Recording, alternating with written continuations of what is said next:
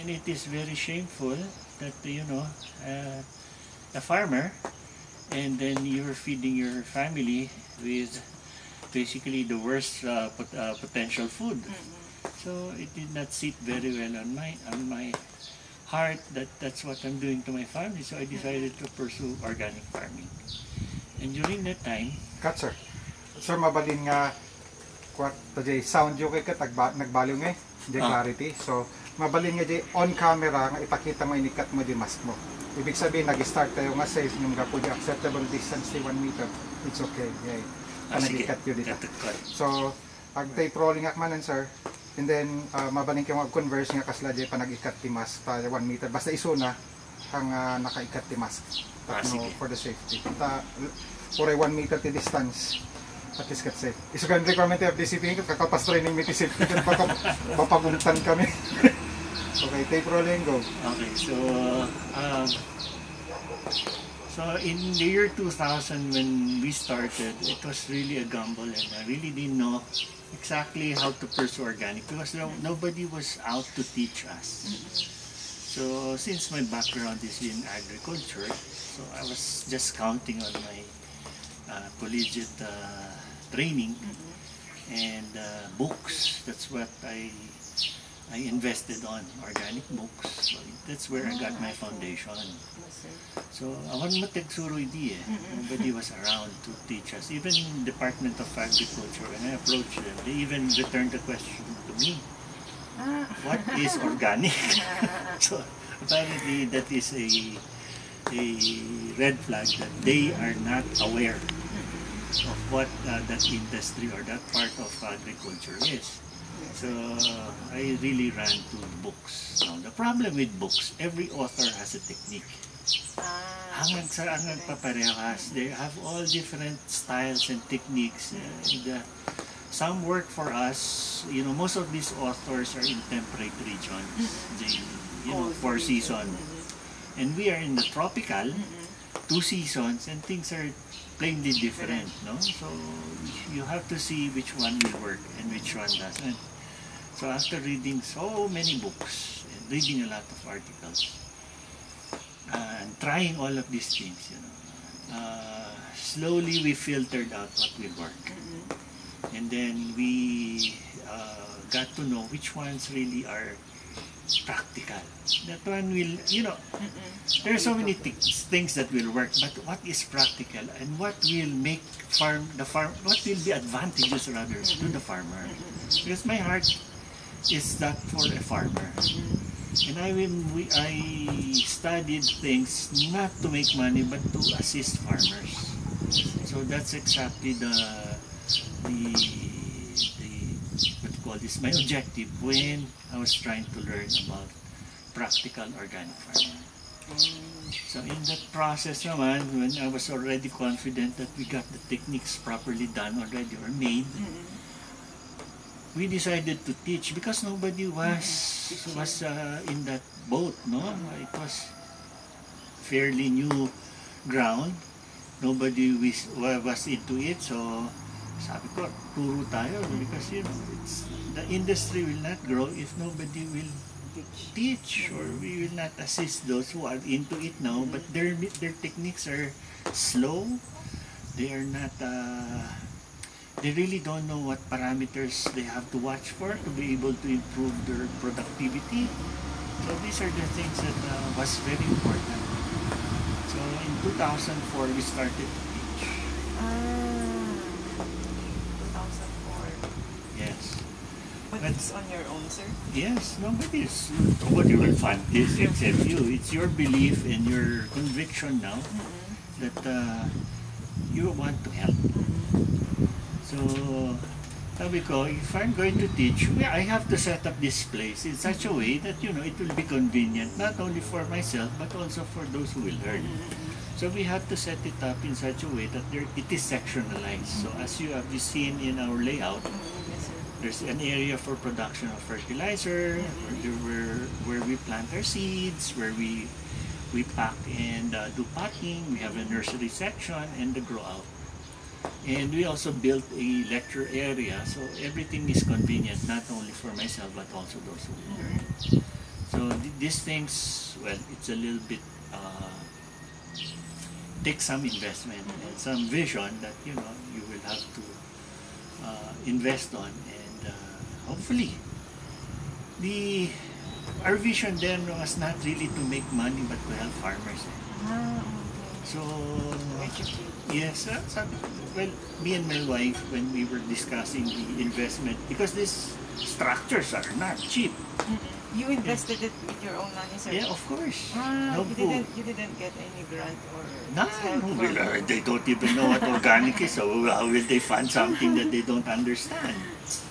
So we really had to do it on our own. And besides, you know, if you you umasa ka dun sa mga ganun, grants and funds and uh, whatever, takes time eh. Mm.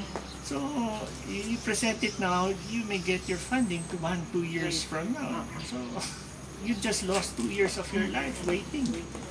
So, might as well when we decided to pursue it, it was on our own. So, we do it, we did it slowly. We did a really, a really a lot of thinking as to how to go about it. So, it will be uh, uh, not so expensive, at the same practical, at the same time, it is a workable design. Yes. So that's the that's the eh, that's the reason why we pursued it. And if it's going to be in your pocket, you really will stretch your own peso. You'll just not be spending like crazy. You know? So that's what happened. so 2004 we started to teach. And then uh, well we had very few uh, souls who want uh, who really enrolled, but we just continually pursuing it. And then there was a support from the Department of Agriculture. The local uh, municipal agriculture is uh, gathered together all the organic farmers in the municipality, the Trinidad. I was included, and then there they, they encouraged us to make a cooperative. And that was LATAP, La Trinidad Organic Multipurpose Organic uh, Practitioners Multipurpose Cooperative. LATAP. This was established when, sir? Um, 2005. Ah, okay. So, So you pioneered this um, yes, yes. I was the first, uh, what do you call this, um, inter, interim chairman. And then I was also the first uh, chairman of the cooperative when it was registered. So we, we, it was a big struggle. It was an uphill climb. And we had so many birth pains and growing challenges. So, you know, but we per- persevered with the help of the uh, members who were also as dedicated to this uh, form of uh, production. So it grew, it grew, it grew, it grew very fast actually. And uh, after five years, I think our Latap has, you know, has reached even as far as Mindanao the Oh. first uh, organic cooperative in uh, in the Philippines. Mm-mm. Functioning, uh, you know. Nagdi-deliver na rin kayo nun, sir? For, Uh, for but that, that far? no, no, no. Uh, Or the organization itself? The organization was a model already Ah, okay. for upcoming uh, cooperatives, organic cooperatives in the different uh, nice. areas, uh, regions in the Philippines. So it, we became more or less parang a template Ah, of nice. a of an organic uh, five So that's how we started. And then the cooperative was not only supported by Kwan, by the Department of Agriculture. We were able also, we were noticed also by different uh, NGOs like uh, who gave grants. So we were the beneficiary of different grants from USAID to AusAID and all this. Nice. So, uh, lumaki na lumaki talaga yung cooperative. So, that's how, uh, why. So right now, sir, kumusta yung cooperative? Frankly, I detached myself from that cooperative about nine years ago. Mm-hmm. Because I didn't want it, first and foremost, to be dependent on a person lang. So they have to grow on their own. And then also, you know, uh, as the you know when our organization is growing, uh, there are conflicts in ideas. Okay, so that's about uh, normal. So since uh, I, I think I've done my job to make that cooperative grow and it has set foot, it's uh, it's really standing on its own and really you know off the ground na. Yes, sir. I gave them a chance to I let go already. So they, you know, let them stretch their imagination and there's their can also to raise the level of uh, the cooperative to the next. So yun yung kwan. But uh, I don't really know if uh, they have gotten farther than what we have reached then. Mhm. So they got into They get to supply na other like super, supermarkets. Uh, they did that. We did that during uh, my time. Ah. Uh, we, we, we went to SM. Mm-mm. When I was still active, we pursued SM. We even got as far as Manila. Mm-mm. But uh, we had challenges as far as uh, delivering to those areas. Uh, delivering is easy, but the collection is the hard part. Ah, okay. The supply isn't enough. And uh, the supply is there, Mm-mm. but getting paid.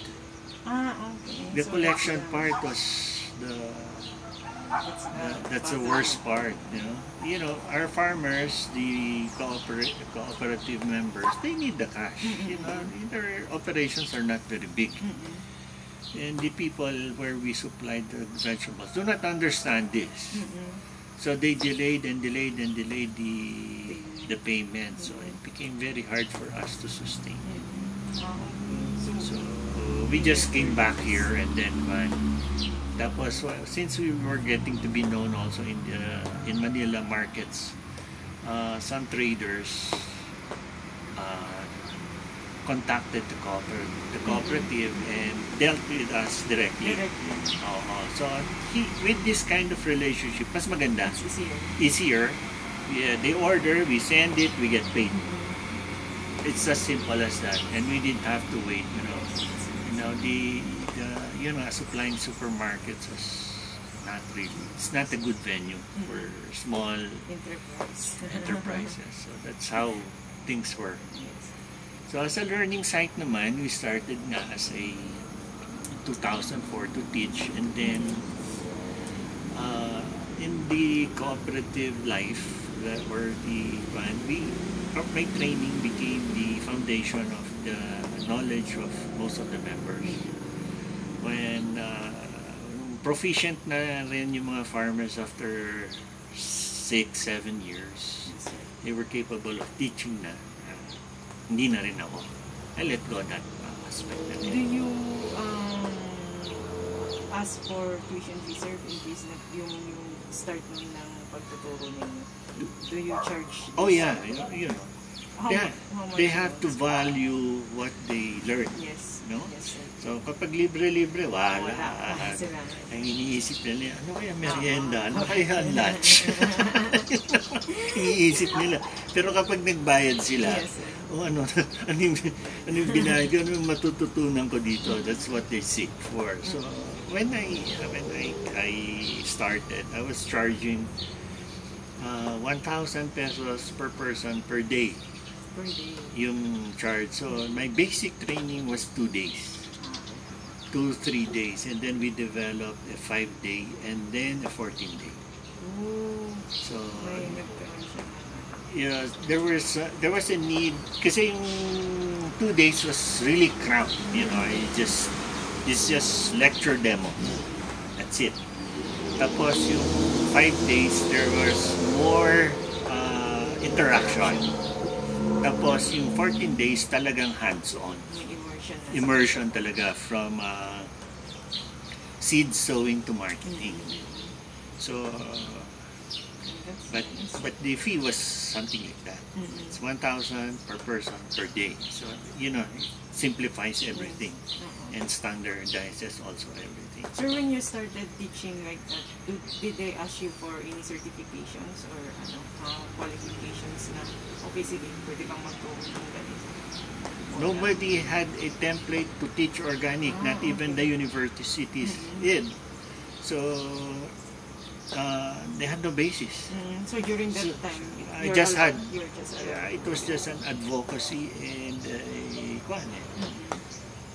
But I cannot give it for free because you know the value. time, time and knowledge. Yeah, they, they- have to value it. experience, yes. You know, uh, I even went as far as the United States to see how our practice compares to them. My goodness, our practice is five star. Uh, we're far more Ah, efficient. We're far better off in doing things than how they did it there. I tell you, I've seen so many organic farms. Awan. I can convert, I can teach you how to convert your farm mm-hmm. into premium mm-hmm. in less than one year. Oh, So that it will take three to five years. Oh my goodness, mm-hmm. awan na. The, the farmers would have uh, lost, you know, hope in gardening if that's how it's going to be. Sir, about that, uh, the conversion thing, kasi some farmers are uh, telling me that uh, you need to clear the soil first, something like that. If they've been into conventional farming, and how many years uh, or how long does it really take to return it to its natural? No, there are two things that you have to look into as far as uh, that is concerned. no? There is concern for safety, correct? So safety from poisons. There are two ways to poison. One is to poison uh, toxic chemicals which is ingested, which is affecting our bodies and all. That's one. And the other is the poison of the soil. So which ones do you want to tackle first? Let's talk about the soil. The soil. Okay? The soil, uh, the poisons that reach the soil are normally neutralized by uh, chemical reaction because the soil has so many uh, compounds, mm-hmm. elements mm-hmm. that react to the chemical. So in- if you, if you, let's say, uh, six weeks to two mm-hmm. months, neutral na yung kwan. The ah. poisons are gone.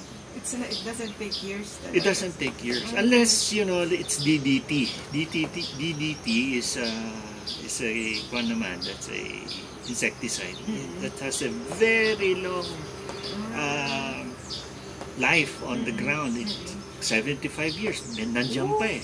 Oo eh. So that's why it was banned. Pero banned by those who are, but if your, your back is turned, wala, the farmers are using it eh. But anyway, that's Dito, something sir, bad. Sa Pilipinas, do they use it? Sa Mindanao. Ah, And sometimes they, you know, there was a test sa Bacolod for sugar export. They tested the sugar for Muscovado yata yun eh, to be brought abroad. When they tested for pesticide, lumabas DDT. When did they apply DDT? Right after the war. Oh, and it's still It's still there. That's, that's the sad part about it. So if you use it, you cannot remove it for the next maybe 75, eh, maybe it's a century before it's neutralized. But everything else, all the other chemicals are, will more or less be you know, neutralized in six, six weeks to two months. Oh, that's nice. Now, the hard part is the poisoning of the soil by the uh, chemicals. Now, the chemicals kasi is a... That's from the spray na, sir. No, no, no. It's the fertilizer. Ah, okay. Kasi how do, how does the fertilizer destroy the soil? Kasi when you put these chemicals, you do not put anything else, you know, like uh, uh, what happens is uh, the soils become depletes in its uh, natural state. Everything else gets uh, consumed by the plants that you grow. Before you know it, uh, the, the soil is half dead already. So resuscitating that is the objective now. So that's the con there, that's a challenge. So if you are going to poison or kill your soil, you know, it takes really a short time lang eh, mga 10 years, patayin na yung lupa mo if you don't really care. And then, uh, when your soil is half dead, you you are forced to use a lot of chemicals. That's why if you look into the lot, uh, soils of farmers here in Halsema, no? they spray every week. Sometimes three times a week, sometimes two times a week. Why? That's the only way they can protect the plants from getting from getting attacked by by you know pathogens or, insects or whatever uh, potential problem. No? Mainly because their plants are very weak. Uri si kaman eh, when you're weak, Yes. Kahit na malayo yung humatching na may sipon eh, Ah. maku- makukuha mo eh. It's the same thing for plants. When you're, you're growing things in dead soil, half dead soil, they are very weak. So they spray, spray, spray. you know. So that's the that's what's happening now. So they are trying to intervene with so many uh, techniques, hmm. but you know, there's nothing like going back to basics. Yes. So every time they pursue a certain technique, it has a price, mm-hmm. and it's not cheap. Mm. And you're not even sure if it will work. You're spending for something that tokis lang. Mm-hmm. And then when you do it, you've spent for it, you're not happy with it. So that's where their money's going. So when when you pursue organic and go back to basics, mm-hmm. you resuscitate the soil, you come up with healthier plants, your healthier plants are, resisting problems, pesticide pest wise. So you have less cost of operation. So that's how it works. Ah, so talagang it starts from the soil. Yes. When you have your you have a healthy lifestyle as a person, you have a li- healthy lifestyle, you have a good diet, you exercise, you sleep well. No COVID will come near you. Low maintenance. Wala, symptomatic kung sakali matamaan ka, it will not affect you at all. But if your system is weak, even if you're young, which is we're experiencing now, you will die. Yes. Based on food consumption din nila, wala sila Yeah, the food that they're eating is processed. not only that, they're empty food. You think if you're eating vegetables, let's say, that came from half-dead soil, there is mm. there nutrients there? That's what that's what you're paying for in organic uh, produce, organic products that are real, ah. Kasi daming nagtatag na organic, organic sila, naman damat mo how to make it really uh, what it is, no? But if that's what you pay for, it's the minerals and the value that is inside that product that's going to help you get stronger. Sir, yesterday, I went to Ati. Yeah. Today, Ati, nagtanong na rin po kasi ako doon. Now, about the organic farming, sabi nila, Latap uh, registered as a group. Mm-mm. Ah, kasi mahal daw po yung... Ah, Ah, for certification, Oh, yes, you mean? yes. Yes. oo. That's very true. may idea po kayo magkano. Yeah, uh, uh, I, uh, you know, I am the first certified organic uh, farmer Mm-mm. in the Cordillera. Mm-mm. I pursued this in 2009. Mm-mm. Uh, I applied in May. I was inspected in September yata or August. Mm-mm. I was given the go signal to claim my products as organic in November. Ooh. So because everything that they place in their guidelines as organic was already present. Oh, nice. So I was the first and one of the fastest to be certified organic here in. And the thing is, it's not cheap. Oh, how much? Oh, that's what they told me. It's not cheap, you know. It's uh, there are two certifying bodies now. There's the uh, Opta, and the other one is NICERT. I think I don't know if NICERT's uh, uh,